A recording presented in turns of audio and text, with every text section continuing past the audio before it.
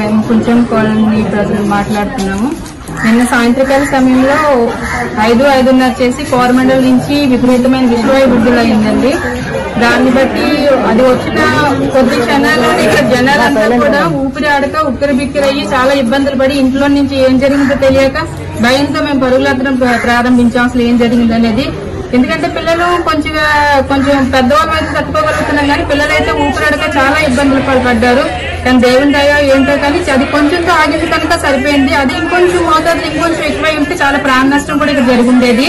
అంటే ఇంత దగ్గరలో ఇంత పెద్ద కంపెనీ ఉండి ఎలాంటి మాకు సెక్యూరిటీ లేకుండా ఈ విధంగా మబ్బులు వస్తే విషవాయువులు వదలటం పొగలు వదలటం దానివల్ల మా గ్రామస్తులు చుట్టుపక్కల ఉన్న వాళ్ళకి కూడా చాలా ఇబ్బందులు పడుతున్నాము. ఒకవేళ ఇలాంటి జరిగినప్పుడు అట్లీస్ట్ త్వరగా డాక్టర్స్ వచ్చి ఇక్కడ ఏమైనా కొన్ని జరిగిందా అని చూసే వాళ్ళు కూడా మాకు ఎవరు లేరు. ఎక్కడికి వెళ్ళాలో కూడా తెలియని పరిస్థితి. కనుక మా ప్రజలంతా కూడా చాలా భయపడుతున్నాము. ఇన్ని రోజులు ఎలానో అలా భరిస్తూనే ఉన్నాము. కానీ ఒకటి ఒకటిగా అలాగ పొల్యూషన్ ఎక్కువయ్యి అనారోగ్యాలు ఎక్కువయ్యి రోగాలు ఎక్కువ అవుతున్నాయి మాకు ఎలాంటి సెక్యూరిటీ ఇక్కడ లేదు. ఎలాంటి హాస్పిటల్స్ కూడా లేవు మాకు. కనుక మా కోసం నిజంగా ప్రతి విషయంలో కూడా మాకు తోడుగా ఎంతగానో ఉంటున్నారు కేఎన్ఆర్ సార్ గారు. ఈ విషయంలో కూడా నిజంగా ఎక్కడో ఉన్నప్పటికీ కూడా మళ్ళా మాకు ఇలా జరిగింది అనగానే పరిగెత్తుకుని రావటం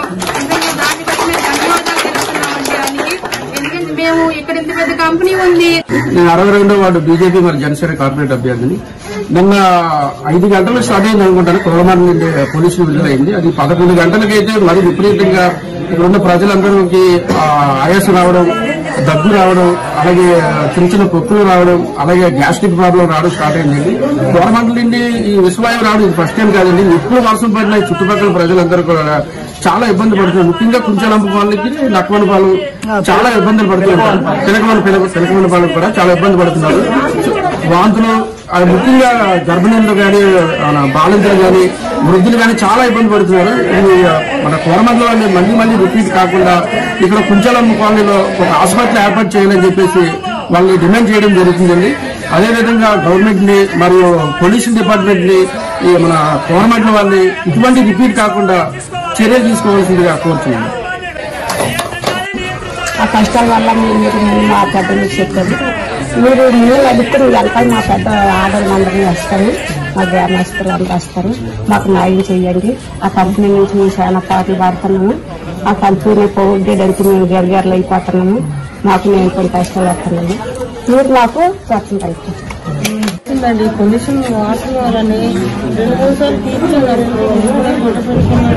దాంట్లో ఇబ్బంది అగ్గిలో జ్వరం వచ్చి ఆ దగ్గు వచ్చింది ఆవేశం వచ్చేస్తుందండి ఈ పొగ మూలనే ఇప్పటికి ఉందమ్మా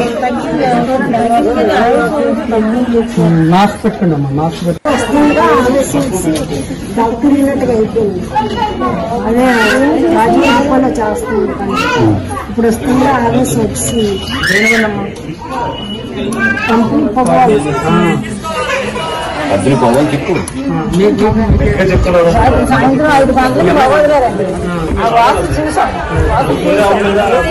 పొగ్గవల వదిలేస్తారు అనుకున్నాం కానీ ట్యాంకి పేరుకుని ఎంత వాసన వస్తున్నారు అంతే ఆ తర్వాత అక్కడికి ఒక గంట రెండు గంటలు పోగానే ఆవేశం వచ్చేసింది ఆవేశం వచ్చి వెయ్యాలి ఎంతో బాధపడుతున్నాను ఆవేశం ఎప్పుడు రాంది ఇలాగ ఆవేశం వచ్చేస్తుంది అనేసి అప్పటికప్పుడు ఎక్కడ కూకోలేను లో- తొమ్మలేను లేకలేను అలాగే ఇక్కడ గొడవ కూడా జరుగుతుంది రాత్రి నాకు అక్కడ ఇంట్లో ఆవేశం నేను చూస్తాను ఆ టైంలో లేచి రెండు వేడి నీళ్ళు ఎత్తుకొని అంటే కొద్ది నిమ్మకాయ పక్క కలుపుకొని అప్పుడు తాగితే అప్పుడు కొద్దిగా ఆవేశం కలిగింది అప్పుడు ఇప్పుడు ఆవేశం ఉంది ఇంకా నాకు మాట్లాడడానికి ఇంకా ఓపిక లేదు అంత ఆవేశమే ఉంది నా మనసులో ఈ పగవాళ్ళ మీద దయచేసి కొద్దిగా కలిసి పారాడదాం.